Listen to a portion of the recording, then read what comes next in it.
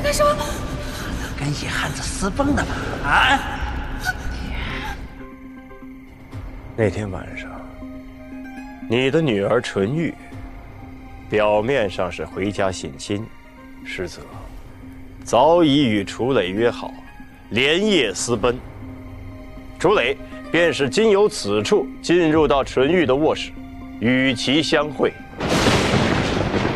楚磊攀爬途中，突遇醉酒归家的龙屠户经过。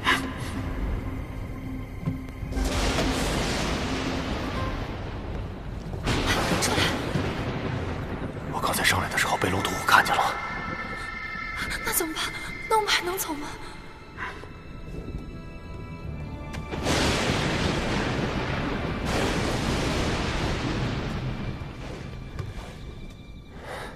也不一定是坏事。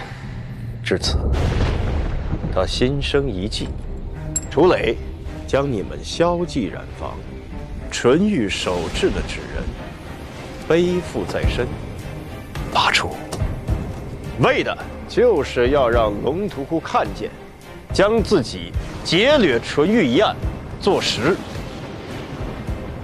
他这么做，是为了保护纯玉的名节。一个已经有了婚配的女子与他人私奔，这话传出去太难听了。这也就是为什么你发现纯玉的房间杂乱无比，可你近在咫尺，却未曾听到半点动静的原因。案发的时候你在什么地方？我在隔壁的房间里啊。那你女儿房间里闹出那么大动静，你什么都不知道？纯玉已经嫁为人妇，怎么可能做出这种越轨的事情呢？明府，你可不能毁了我女儿的清白呀！肖掌柜啊，肖掌柜，你可知道，纯玉嫁入朗家之后，从未与她的丈夫圆过房。啊，你。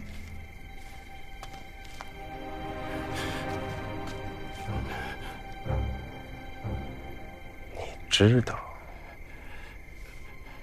你知道，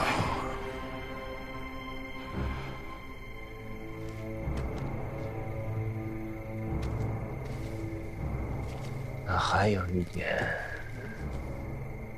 你一定也知道。当晚，纯玉是收拾了他所有值钱的细软离开的。事后你一查便知，纯玉与楚磊定是私奔，你却隐瞒了所有的实情，致使楚磊入狱。纯玉至今下落不明。你说，你保护的究竟是你女儿的名节，还是你自己的脸面？哎呀，我你看看这个，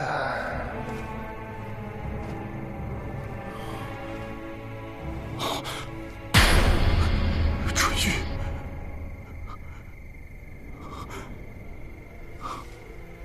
这是我在龙图户的案台之上发现的。当晚，龙图户无意中看到了萧继染房二楼的人影，识破了楚磊的计谋。于是，心生歹念。当纯玉看到他熄了灯，便带着包袱，按照事先约定好的，悄悄的出了门。这时，龙主见左右无人，扑向纯玉，拉进自己的肉铺。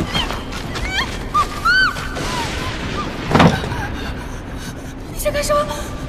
跟野汉子私奔的吧？啊！他不知道的是，陈玉的耳坠掉落在了街头。后来楚磊苦等纯玉不见，回来寻找，在肉铺外捡到了纯玉的耳坠。可出事后，却被龙屠户反咬一口，在你萧掌柜的推波助澜之下，楚磊入狱。